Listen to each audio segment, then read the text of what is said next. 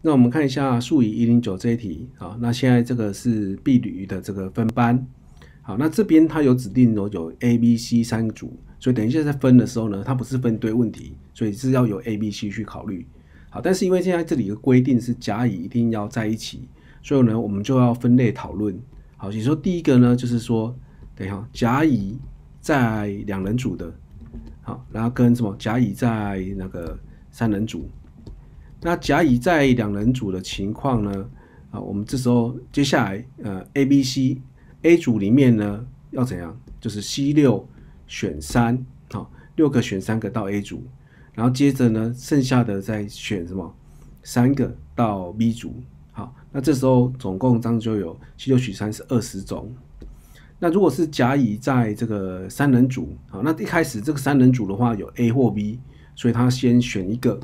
OK，好，那选定之后呢，这个这一组还差一个人，就 C 六选一。